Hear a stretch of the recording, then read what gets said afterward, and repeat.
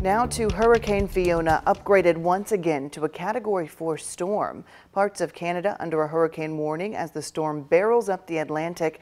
As Canada braces for impact, people in the Caribbean still picking up the pieces from Fiona's aftermath. ABC's Reena Roy has the latest. The east coast of Canada bracing for what could be one of the strongest storms to hit the country. Canada is not, I would say, in a hurricane zone or hurricane alley, but they're going to get the next impacts from Fiona.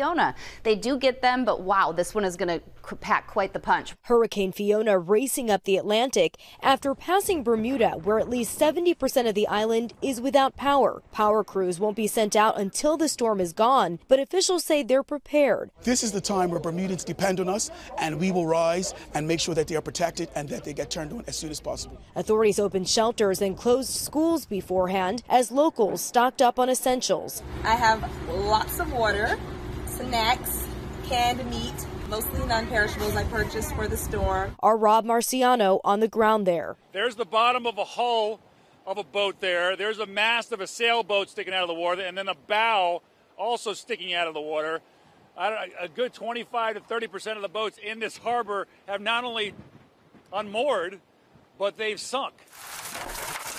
Fiona blamed for at least eight deaths across the Caribbean after first making landfall in Puerto Rico. More than 900,000 customers still without power there. No word on when it will be restored.